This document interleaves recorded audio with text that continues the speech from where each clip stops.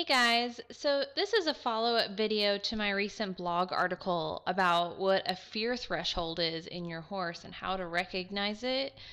Um, so we're going to be watching some videos about with my horses as I'm working with them.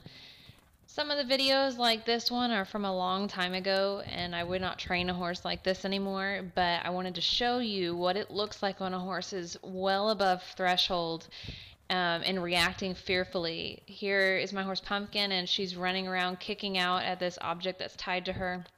This is called flooding. Um, it's a form of desensitizing, and you can see she's extremely stressed. She's breathing hard, running hard, trying to escape this escape this object. So next, we're going to be watching a video of my other horse, Tiger. Um, this was also from a while ago, but this is a different type of desensitizing called systematic des- desensitization, if I can say that right. Um, she's below threshold here, but she is recognizing that this object could be a little bit scary, so I'd say she's just below it. I wouldn't, she's not completely oblivious of this, but she's um, doing really, really well. She's relaxed, she's engaging with me, she's um, paying attention to the object but not afraid of it. There, she kind of gave a little bit of a worried look. I would say that she was approaching threshold but not actually afraid of the object. She's doing really well here. I'm just looking for her to give calming signals as far as like putting her head down, keeping her facial expression really relaxed, her body relaxed, no pulling away, no moving away from me. You'll notice I'm not holding on to her, I'm not forcing her to stay there. Um, she is every once in a while gives a little tiny flicker of like, oh shoot, what are you doing? And then she's like, oh cool, we've got this. I think she's far more concerned with wanting to know what she's supposed to be doing to get a reward than the object. Here she's a little bit, um, I would say she's approaching threshold or at threshold. She's giving worried looks. Her head has gone up just a little bit. Her ears are slightly back. Her face is a little bit um, worried looking. I wouldn't say it's rigid or firm. She does have a um, more obvious whites around her eyes, so sometimes it looks like she's acting worried when she's really not, but she is in this video showing a little bit more whites than usual. Um, she has a little bit more of a reaction to the bag near her neck versus later on you'll see as I work around her whole body and she's much more relaxed when it moves away from her neck and her head. She's doing really, really well here. She's below threshold, like really, really below threshold. She's lowering her head. She's relaxed and chewing. She's just looking for what it is I want that will earn her a reward. She's not at all concerned about the bag on her back, which is really good. But don't pay so much attention to the bag and the object as much as her expression and what she's showing me. Because you can have a horse that doesn't necessarily move when a bag's on its back, but is actually at or above threshold, but is too afraid to move uh, for fear of getting in trouble. And you're actually, your horse is actually frightened at that point, but is more frightened of getting in trouble than than of moving away from the object. There, when I put the bag over her head, she went above threshold. Her head went up. Her eyes became extremely worried. There, she yanked away from me slightly. Um, I probably pushed her just a little bit too fast, so I pulled it away, and at that point, we go ahead and we restarted and just tried to get her to stay below threshold, and she did really well the second time.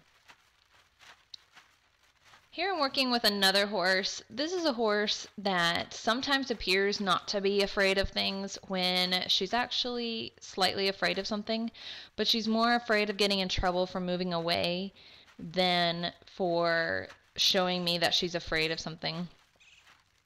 She's doing really well right here. Um, this horse is blind on one side. I'm currently on her side that she can see just fine. You'll see she doesn't, she reacts a little bit by lifting her head, but she's kind of more like, what are you doing, lady, than being really upset. Um, she's not really going to threshold level. There, she lifts her head up a little bit. She's like, oh, there's a bag on my head. But she's doing really well. She even puts her head down and is relaxed. So she's doing really well here.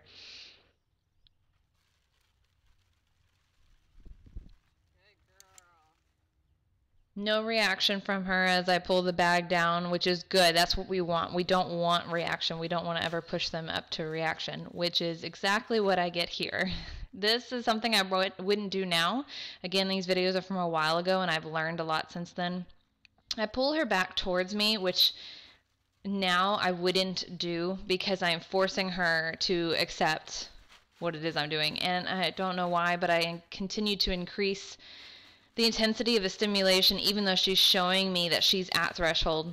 She's right now arguing with herself internally whether she should flee or if she should be more afraid of getting in trouble for fleeing. Um, she's one ear towards the object. She is expressing a lot of um, stress towards me. Her she's leaning away from me.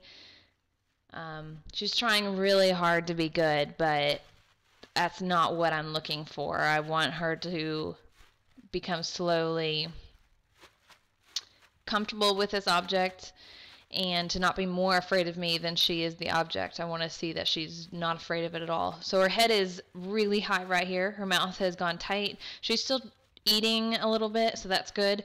But now she has actually decided that moving away is better than just standing there. So I've actually kicked into the uh, part of her reaction. Um, so she's above threshold and moving away from the from the object. There's a difference between kind of moseying away and the moving away she was just doing. She was leaning away from me and she's been arguing with herself about whether she should move away or not. And then finally she's like, okay, I'm moving. I can't handle this anymore. And for some reason, I pull her in tighter to me, which is not only more dangerous when you're dealing with a horse that is afraid of something, but it's also not helping her mentally. Now she feels very stuck. She's not going to be able to associate this stimulus with feeling calm and confident and unthreatened, but now she's actually going to associate this stimulus with being afraid and being stuck and unable to get away from it. So again, these videos are from a while ago. I don't train quite like this. Um, I wouldn't get a horse this above threshold now. But these are excellent examples of what it looks like when a horse has gone from calm or below threshold to at threshold and then over threshold. And they're exactly what you need to be looking for when working with desensitizing and training your horse. Thanks for watching, guys. Make sure and check out my website and the blog for more information. And if you watched this video but didn't read the original blog article, please go back and read the article and this video will make a lot more sense. All right, until next time, guys.